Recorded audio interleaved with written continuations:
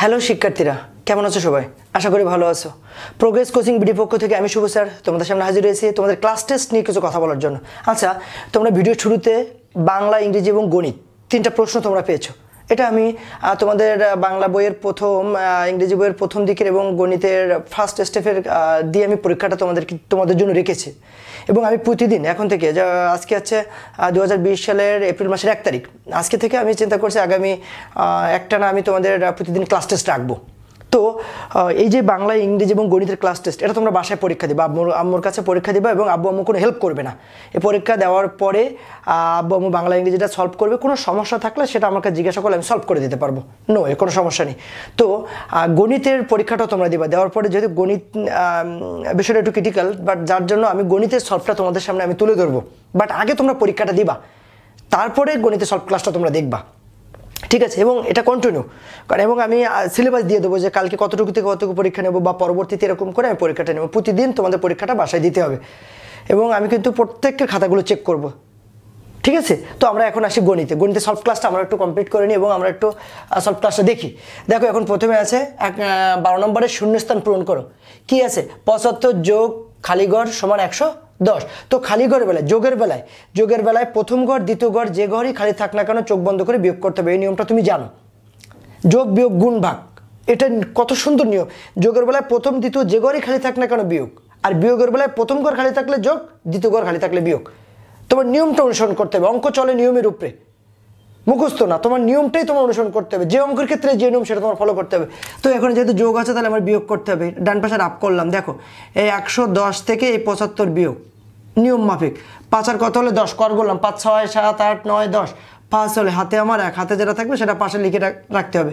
সাত রাখে আট, আটের কত হলে এগারো, আট, নয়, দশ, এগারো, তিন হলে হাতে আমার এক। এক আর এক মিলে গেলে শূন্য, বাম পাশে শূন্য বসে না। দেখো, আমি কিন্তু মার্ক ডিস্ট্রিবিউশনও তোমাদের প্রশ্নে করে দিয়েছি। সুতরাং সেভাবে বাসায় পরীক্ষা দিবা। তাহলে এখানে হবে কত? পঁয়ত্রিশ। ক্লিয়ার সমান চিহ্নের বামে যা হবে ডান পাশেও তাই। তার মানে ডান পাশে একশো দশ। এই পঁয়ত্রিশ আর পঁচাত্তর আর পঁয়ত্রিশ যোগ করলে একশো দশ হবে। তার মানে সমান চিহ্নের বাম পাশেও যা থাকবে, ডান পাশেও ঠিক তাই হবে। তা না হলে সমান হবে না। ওকে দ্বিতীয়টা আসি। বিয়োগের বেলায় প্রথম ঘর খালি থাকলে কি? একটু আগে বলেছি। বলো তো কি? প্রথম ঘর খালি থাকলে যোগ। তাহলে যোগ করে দিলাম। কি? আট এখানে বসে গেল। নয়, তিন থেকে নয় ঘর। তিন, চার, পাঁচ, ছয়, সাত, আট, নয়, দশ, এগারো, বারো। একশো আঠাশ। কত হচ্ছে একশো আঠাশ। তার মানে একশো আঠাশ থেকে আটত্রিশ বিয়োগ করলে নব্বই থাকবে। এবার গুণের বেলায়। গুণের বেলায় প্রথম ঘর, দ্বিতীয় ঘর যে ঘরে খালি থাক না কেন, ভাগ। যোগের বেলায় যেমন দেখো, প্রথম ঘর, দ্বিতীয় ঘর যে ঘরে খালি থাক না কেন, বিয়োগ। আর গুণের বেলায় প্রথম ঘর, দ্বিতীয় ঘর যে ঘরে খালি থাক না কেন, ভাগ। তার মানে যোগের সাথে গুণের একটা কমিটমেন্ট আছে। আবার বিয়োগের সাথে ভাগেরও একটা আছে। তো যেহেতু ভাগ, তার মানে এখানে সত্তরকে সাত দিয়ে ভাগ। তোমরা অনেক সময় এই ভাগটা ভুল করো। কীরকম জানো? সাত, দশকে সত্তর একবারে লিখে দেবো। এটা কিন্তু সঠিক ভাগ না। এটা ভুল। এই জন্য সাত এককে সাত। তারপরে শূন্য। সাত শূন্যের শূন্য। এখানে হবে দশ। পরটা আছে একদিন সমান ড্যাশ ঘণ্টা। একদিনে কত ঘণ্টা? বলো তো কত ঘণ্টা? চব্বিশ ঘণ্টা। এবার আসি। তেরো নম্বর প্রশ্ন। পিতা পুত্রের বয়স একত্রে পঁচাত্তর বয়স পঁচাত্তর বছর। পুত্রের বয়স আঠারো বছর, পিতার বয়স কত? তা পিতা, পুত্র দুজনের বয়স একত্রে দেওয়া আছে। তা যদি বয়স সংক্রান্ত অঙ্কে দুজনের বয়স যদি একত্রে দেওয়া থাকে এবং একজনেরটা নির্দিষ্ট থাকে, তাহলে চোখ বন্ধ করে বিয়োগ করে অন্যজনের বয়স বের করতে হয়। চোখ বন্ধ করে কথাটা কেন বললাম? মানে এই নিয়মটাই কারেক্ট এই নিয়মটা তোমার মনে রাখতে পারলে বয়স সংক্রান্ত অঙ্কের মেজরিটি ভুল আর হবে না। কি বলেছি? দুইজনের বয়স একত্রে দেওয়া থাকলে এবং একজনেরটা নির্দিষ্ট থাকলে বিয়োগ করে অন্যজনেরটা বের করতে হবে। কি লিখতে হবে দেখো? পিতা ও পুত্রের বয়স একত্রে পঁচাত্তর বছর। দেখেছ? এবার কার বয়স দেওয়া আছে? পিতার না পুত্রের? ভালো করে প্রশ্নটা খেয়াল করো। পুত্রের বয়স, তাহলে আমি এখানে লিখব। পুত্রের বয়স আঠারো বছর। এইটা বিয়োগ করলে কার বয়স পাওয়া যাবে? পিতার বয়স। লিখলাম, পিতার বয়স, বিয়োগ করলাম। আঠার কত হলে পনেরো, আট, নয়, দশ, এগারো, বারো, তেরো, চোদ্দ, পনেরো। সাত হলে হাতে আমার এক, হাতে যেটা থাকবে সেটা অবশ্যই অবশ্যই অবশ্যই ডান পাশে লিখে রাখতে হবে। যে না লিখে রাখে সে গোবর খায়। তার মানে হাতেরটা বাইন্ডিং লিখে রাখতেই হবে। এবার একে রাখে দুই দুই আর কত হলে সাত, দুই, তিন, চার, পাঁচ, ছয়, সাত।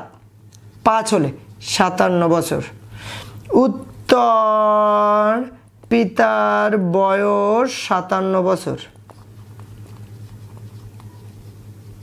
ক্লিয়ার এবার আসি চোদ্দ নম্বর। চোদ্দ নম্বরটা বলেছে, দেখো, এটা চোদ্দ নম্বরটা বলেছে, ছয়ের গুণের এককের ঘরের সংখ্যাগুলো লিখো। এককের ঘরের, এখানে কিন্তু চারটা চার মার্ক এই জন্য চারটা এখানে দেওয়া হয়েছে, ঠিক আছে? এককের ঘরের সংখ্যাগুলো লিখো, ছয়ের গুণের এককের ঘরের সংখ্যাগুলো লিখো। তার মানে ছয়ের গুণের, দেখো, ছয় এককে কত? ছয় ছয় দুগুণে বারো, তিন ছয় আঠারোর আট। মানে এককের ঘরের সংখ্যাগুলো লিখতে হবে, যেমন তিনশো আঠারো। এই তিনশো আঠারো এককের ঘরের সংখ্যাটা, এইভাবে আর কি, ঠিক আছে? তার মানে তিনশো আঠারো, চার ছক চব্বিশ, পাঁচ ছয় তিরিশ, ছয় ছক ছত্রিশ, ছয় সাতা বিয়াল্লিশ, ছয় আটা আটচল্লিশ, ছয় নং চুয়ান্ন। ছয় দশকে ষাট। এখানে আমি দেখো সিরিয়াল করে লিখে দিচ্ছি প্রত্যেকটা এককের ঘরের সংখ্যা। তুমি যদি এরপর লেখো ছয়ের গুণের এককের ঘরের সংখ্যা হলো ছয় কমা দুই কমা আট কমা চার কমা শূন্য, চলবে। ডাবল করে না লিখলেও তোমার ভুল হবে না। মনে থাকবে তো? এবার আসি পনেরো নম্বর।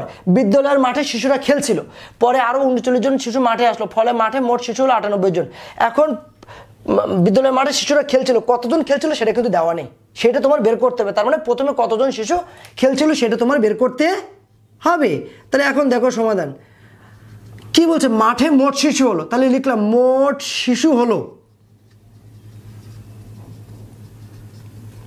আটানব্বই জন। মোট শিশু হয়েছে আটানব্বই জন। এবার পরে মাঠে আসলো।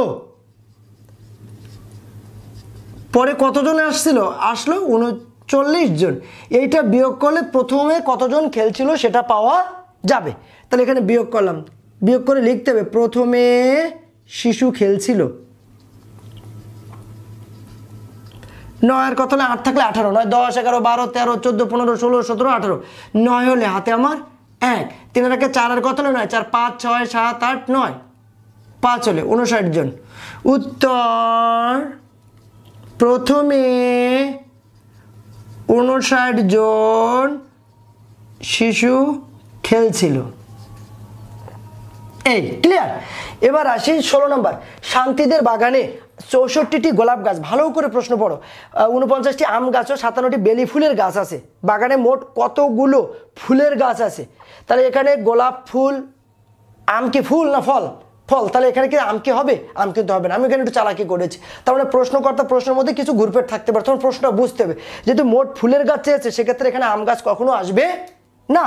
তাহলে এখন দেখো সমাধান। খেয়াল করো প্লিজ সমাধান। গোলাপ গাছ আছে, গোলাপ গোলাপ গাছ আছে চৌষট্টিটি। কয়টি? চৌষট্টিটি। এবার লিখলাম, বেলি গাছ আছে সাতান্নটি। এবার এই দুইটা যোগ করলে মোট ফুলের গাছ।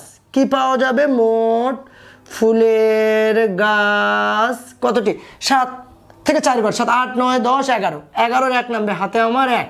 ছয়, পাঁচ রাখে ছয় ছয় ছয় ছয়, সাত, আট, নয়, দশ, এগারো, বারো। একশো একুশটি। উত্তর, একশো একুশটি ফুলের গাছ আছে। একুশটি ফুলের গাছ আছে। ঠিক আছে? আমি তোমাদের কাছে সুন্দর করে এটা সলভ তোমাদের সামনে তুলে ধরলাম। আরও একটা বিষয়, যদি বাংলা বা ইংরেজির ক্ষেত্রে কোনো প্রশ্ন তোমার বুঝতে সমস্যা বা তুমি বুঝতে পারো না বা আব্বা খাতা দেখার সময় একটা কনফিউশন তো অবশ্যই তোমার কমেন্ট বক্সে জানাবা। যে এটা বুঝি নাই কিংবা আব্বু আম্মু জানাবে যে এই কমেন্ট বক্সে এটা কোনো প্রশ্ন থাকলে আমার কাছে নির্দ্বিধায় জিজ্ঞাসা করে নেওয়া যাবে। এবং আমি চেষ্টা করব প্রতিদিন তোমাদের সামনে ক্লাস টেস্ট ও আরেকটা বিষয়, আমি কালকে কত থেকে, কতটুকু থেকে কতটুকু পরীক্ষা নেব সেটাও তোমাদের অবশ্যই লিখে দেওয়া উচিত, তাই তো? তাহলে আমি এখানে একটু এই এই ফ্যাক্টটাই লিখে দিই, ঠিক আছে? যেমন কালকে আমরা বাংলা কতটুকু নেব, এটা কিন্তু রিভিশন যেহেতু প্রথমে একটু শুরু করছি, সুতরাং প্রথম পর্যায় থেকে পরীক্ষাটা নিয়ে নিই। বাংলা দেখো, আগামীকালকের পরীক্ষার কতটুকু থেকে কতটুকু সেটা আমি লিখে দিচ্ছি। দেখো, কালকে থাকবে বাংলা। তোমরা একটু বাসায় যেহেতু পড়া জিনিসটা আবার রিভিশন এই জন্য তোমরা একটু বাসা আরও বেশি করে রিভিশন করবে। বাংলা এক থেকে একত্রিশ পৃষ্ঠা। এইটুকুর মধ্যে বাংলা ইংরেজি পরীক্ষা নেব। আর ইংরেজি নেব হচ্ছে ক্লাস টেস্ট নেব হচ্ছে দুই থেকে সাতাশ পৃষ্ঠা। আর গণিতের কোনো সিলেবাস নেই। গণিত আমি তৈরি করে অঙ্ক দেবো। মানে বইয়ের ভিতরেই, বইয়ের বাইরে কিছু না, সংখ্যা শেষ নামছে আজকে এরকম এই যে বইগুলো তো বইয়ের অঙ্ক, ঠিক এরকম গণিতেরটা দেবো। বাট এটা হচ্ছে আগামীকালকের পরীক্ষার জন্য তোমরা প্রিপারেশন নেবে, এটা আবার রিভিশন করবে। আমি কিন্তু বাসায় কল দিয়ে জিজ্ঞাসা করব, সুতরাং এটার জন্য ভুল না হয়। এখন আমাদের চেষ্টা করতে হবে, আমাদের যাতে ভুল থেকে সংশোধন, যেহেতু প্রত্যেককে সতর্ক থাকতে হচ্ছে, প্রত্যেককে বাসায় আছি, সুতরাং অবশ্যই অবশ্যই এই, এইটুকু অনুসরণ করে স্যার কি বলছে এবং প্রত্যেককে তোমাদের আশেপাশে যারা আছে তাদের সবাইকে প্রত্যেককে জানাই দিবা, ঠিক আছে? তো ভালো থেকো সবাই, অবশ্যই চ্যানেলটা সাবস্ক্রাইব করবা, পাশে থাকা বেল আইকন বাজিয়ে দিবা, তাহলে অবশ্যই তুমি সবার আগে ভিডিওটা পেয়ে যাবা। ভালো থেকো, ঠিকমতো পড়াশোনা করো, পরীক্ষা সুন্দর করে দিবা, কোনো হেল্প নেবা না এবং হাতের লেখা অপারেটিং কাটাছেড়া করবা না। ঠিক আছে? ভালো থেকো সবাই। ধন্যবাদ।